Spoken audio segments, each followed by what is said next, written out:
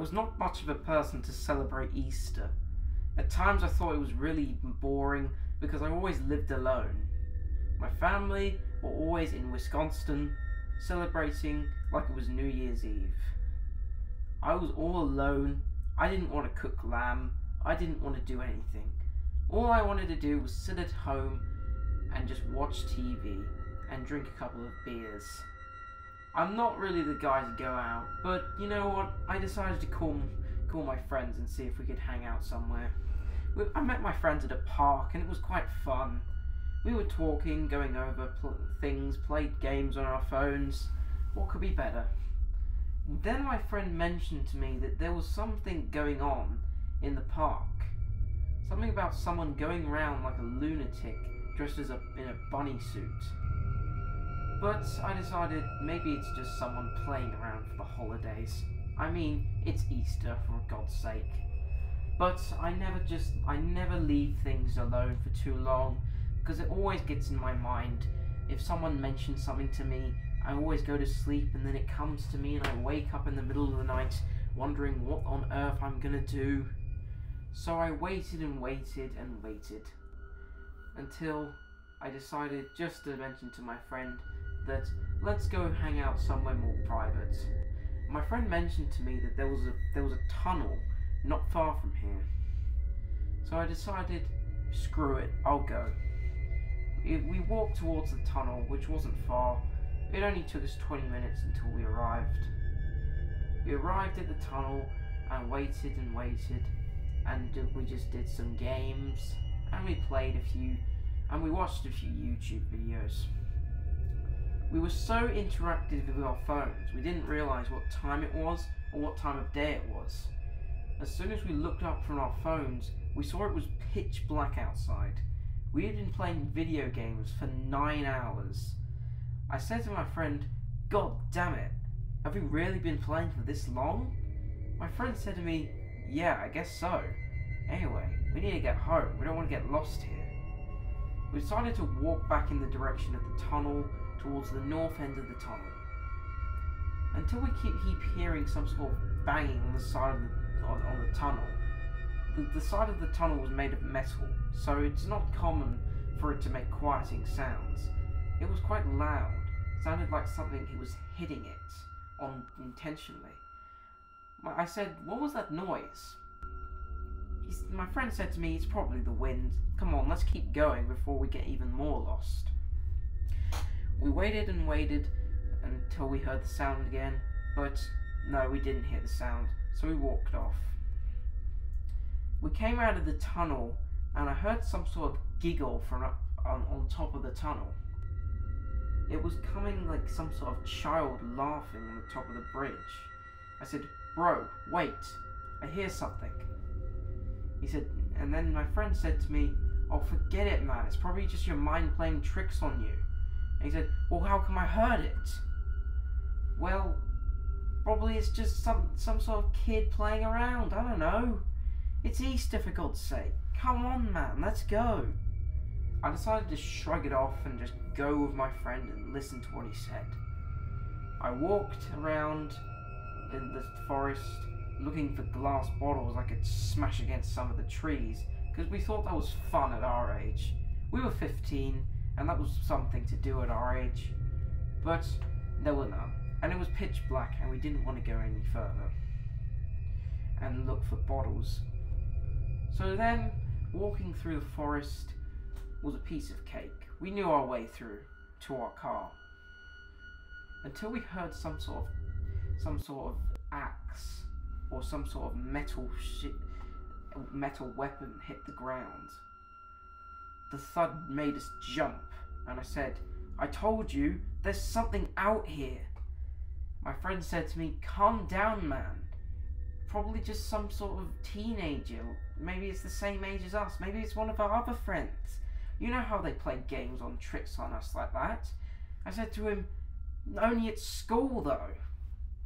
But we didn't do anything about it, and we kept walking, but at a quicker pace. Then we heard footsteps coming from behind us. It was very, very frightening. So then, as soon as I knew it, I turned round. Standing there, in front of me, was some person dressed in a bunny suit. It showed it had two bunny bunny ears on top of the head. He looked about six foot four, and he was holding an axe. He had blood all over his vest, and he looked insane. I kept on. I, I told my friend. I shouted towards my friend, "Run!" I ran and ran, and my friend up ahead ran into the car and got the car started. Then we heard the footsteps of the dreaded bunny chasing after us. Then I remembered I had a gun on me. I pointed the gun towards the bunny, but it didn't stop him. He started charging us with the axe. I shot a couple shots at him, but I missed because I suck at aiming. So I ran and ran towards the car and got in it. Then the bunny decided to take his axe and swing at our window. He broke the window of our car and climbed in like some sort of zombie apocalypse film. We screamed out of our wits and started screaming for help.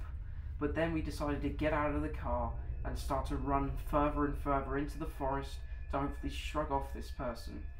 My friend said to me, Let's go back to the tunnel. He'll never find us there. We ran back to the tunnel and we, we waited, but there was nothing, no sound of it. Then we heard some sort of muffled crying sound coming from the some sort of shed in the distance.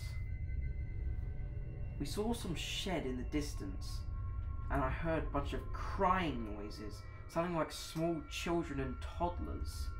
I said, Who's there? There were no response. The crying continued.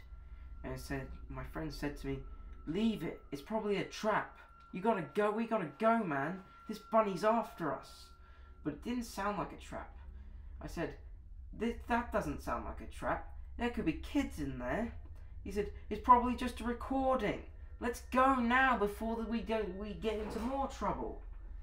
But then I realised that it didn't sound like a recording. It sounded real. I creaked open the shed door and saw a bunch of kids lying on the floor, crying and all tied up.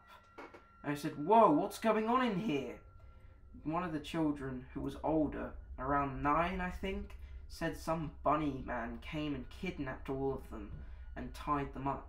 And he said that he's killed six of the kids who cried too much. I was stunned. I told my friend to call the police immediately while I decided to comfort the kids and calm them down. While my friend was calling the police, he said he heard footsteps coming from behind him. Surely it must have been the bunny man. I decided to also look after the kids, but I kept hearing some sort of axe, and the kids all all stopped laughing whenever I told them my jokes and happy to comfort them. They all stopped hearing this banging noise coming outside the shed. I got inside and I barricaded the door of the shed. When I heard police sirens, I decided to run towards.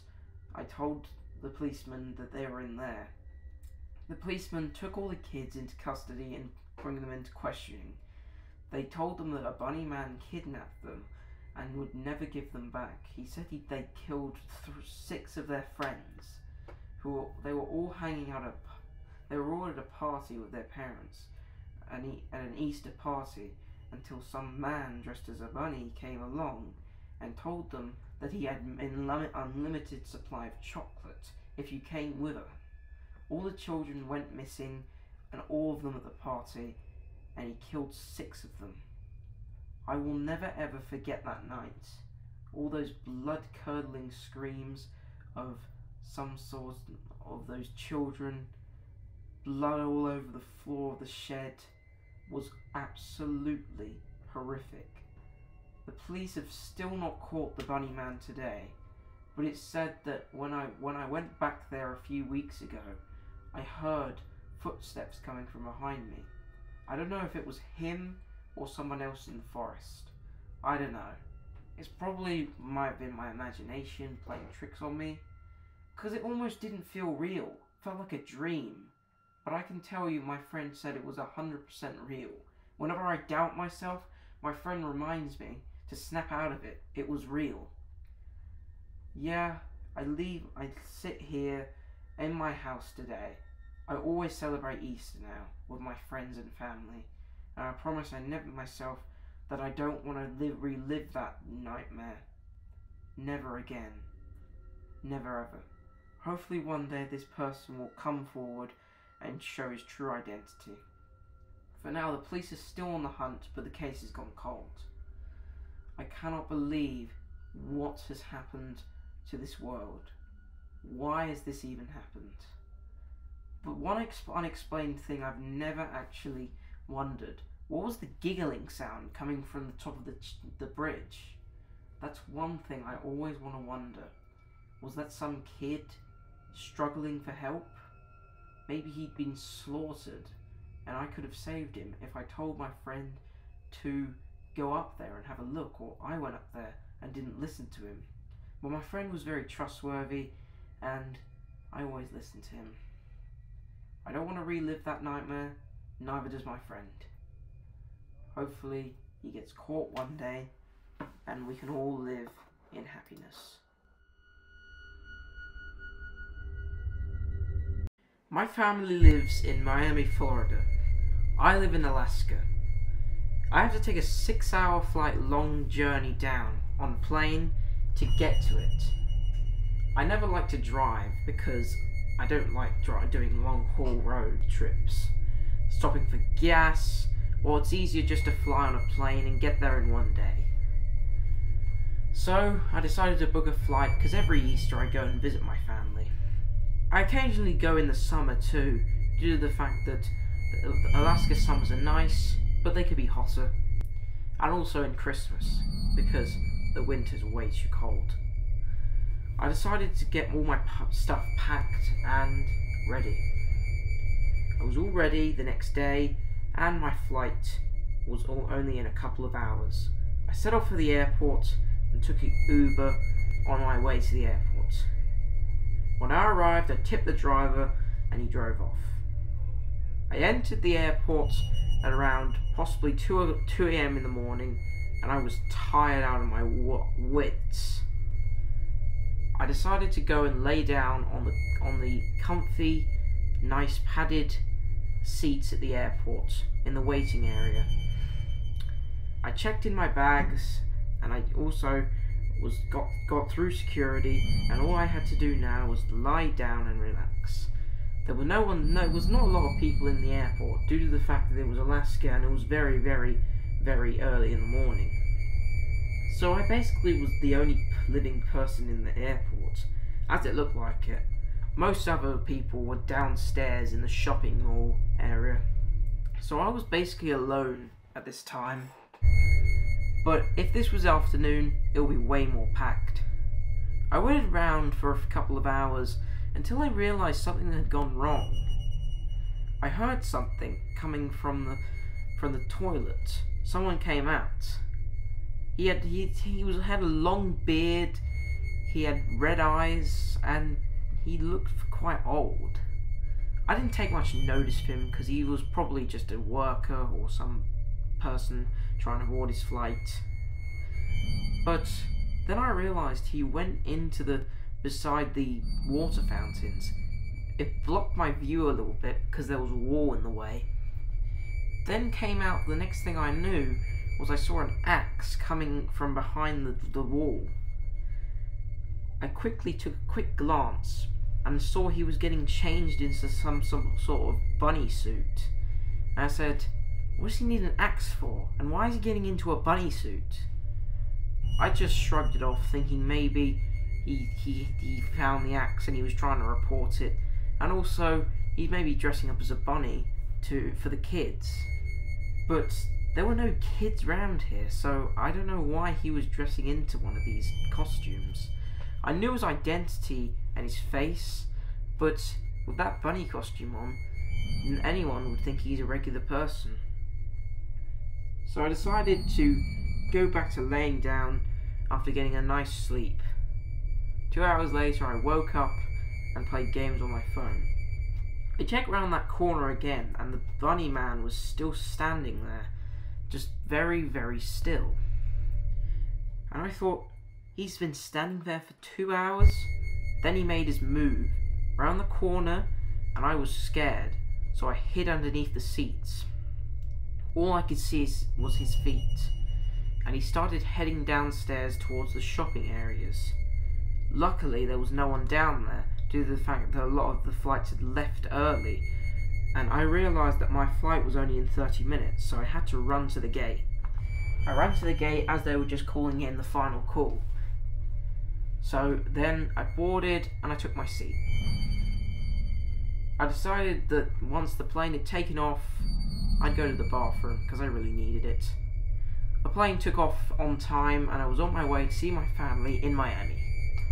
There was not packed, of course, because a lot of people don't really fly to Miami this early in the morning. But it wasn't very. So I basically had a row to myself. So if I wanted to sleep, I could just lay down on all three seats. But as soon, but then I decided. To, but my plan was to go to the bathroom. I went inside the bathroom and decided I, and then I realised that one of the bathroom stalls was locked. I tugged on it, but clearly someone was in there. I was thinking to myself, who would want to go to the bathroom at this time? Maybe me. I don't know. Maybe I shouldn't have said that. In my mind, I was thinking it, but did someone really have to take the biggest stall? Anyways, I decided to take the smallest stall at the end of the plane. I got out of the bathroom and I sat back down. But something really was disturbing. The big bathroom at the front was locked the entire flight. It was only about 30 minutes until landing, where the flight crew had to bang on the door to the person saying, You've been in there for six hours, come out. But there was no response. So I said to the flight attendants, I went in. I decided I wanted to go in there before, uh, just after we took off, and that's been locked ever since. And he said, she said to me, "Did you see the person who went in here?" And I said, "No, I did not." But one old man came up to us and said, "I may have seen him go in. He was dressed in some sort of bunny costume, holding an axe."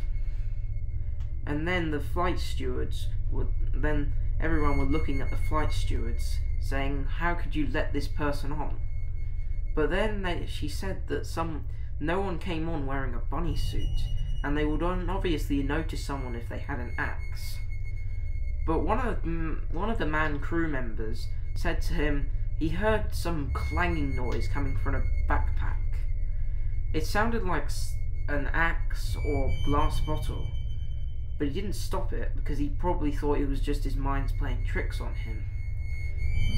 But it must have been that his plan his plan might have been to wait until the, the plane had landed and then decide to come out and kill everyone in Miami airport. We didn't want to take the risk. We notified the pilot and he kept the plane in the air long enough for, for to let air traffic control know I sat in my seat all nervous, and I, I said to the flight crew, Can all our, us economy pl- please move to the first class? She said yes without without saying without argument because she knew that it would be better for, for all passengers to move to the front of the plane, nowhere near this person. So they we all moved to the front of the plane and stayed in first class. The flight, flight crew were quite calm. And we just waited and waited, but still no sign of anyone coming out. Until only 20 minutes later, we hear something. We hear the bathroom stall opening, showing that the person has finally come out. Flight crew members screamed as she saw the bunny person heading towards her, swinging at her with an axe. She decided to cover the curtains and notify the pilot. It was curtains weren't enough for this bunny, so they all barricaded the curtains and put many things at, up against it so this person would not be able to get through. He basically had a cabin to himself, so he could do basically anything he wanted. If he wanted to tamper the plane, he could. But the pilot notified air traffic control about who's on board, and everyone was all worried, including me. I always I was all shaky and worried. So as soon as I knew it, the pilot was making an emergency landing. Police were waiting on the on the on the side of the runway, waiting to get inside. So was a step, so all passengers could disembark. As soon as the plane landed, we all got off as quickly as possible. Two ex- two emergency doors were supplied so people could get off quicker. And then, as soon as they we knew it, we were disembarked off the plane. Then SWAT team, FBI, and police officers barricaded through the, removed all the stuff, and went in for the bunny man. He was arrested and taken out, and the bun his head was pulled off, and it was the same man from earlier. I knew it in that heart that he looked at me with a grin and a smile. It looked horrifying. I did not know who this person was, but clearly his attention, his intentions that night was to murder everyone in Miami airport, as I was thinking on the plane. Thank goodness we knew who was in there, and that old man was there to save the day, because the pilot could have landed and then pulled up on the gate, let this person off, and all hell would have broke loose.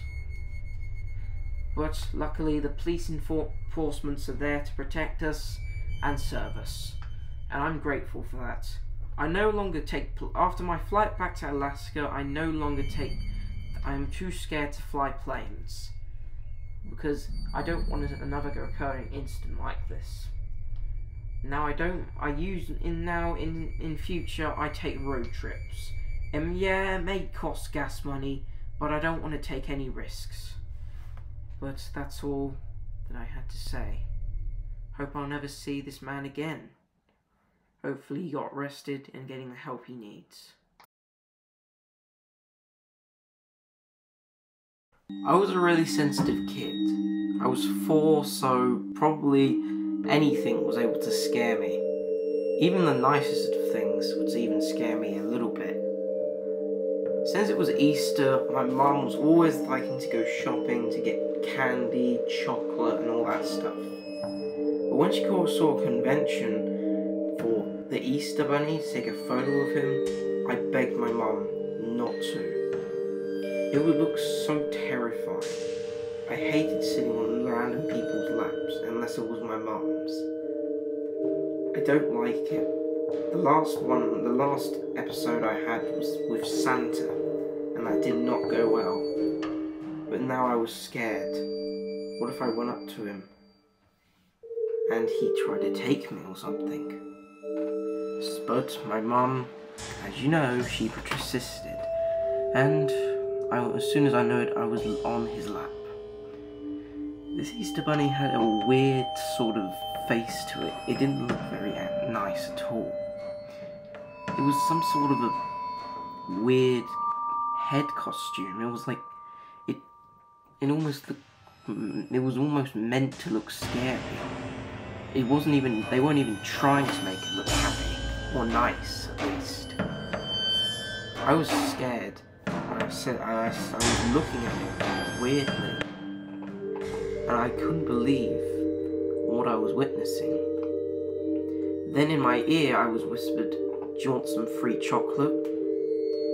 And I said, Yes, of course.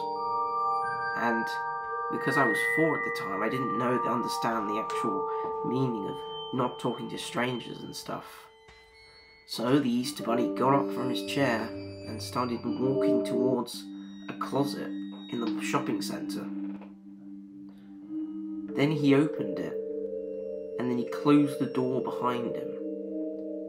I was too young to understand what was going on until maybe the last second.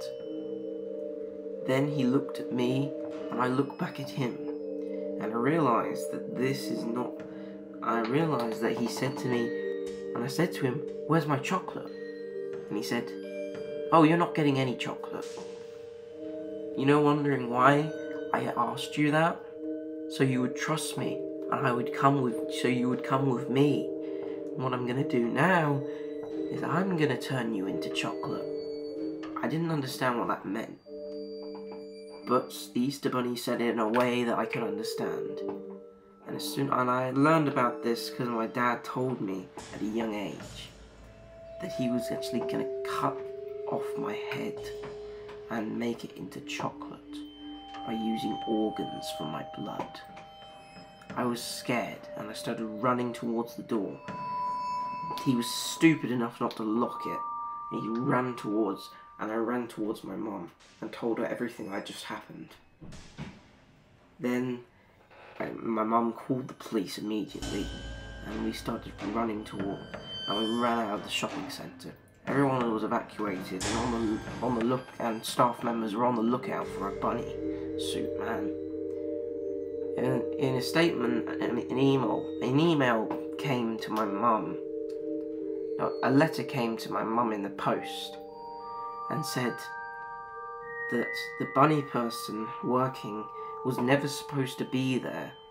He was a fake employee that day and used that to sit on people's laps and to kidnap them and kill them. He'd already killed two kids that day and their bodies were found in a ditch not far from outside of the mall.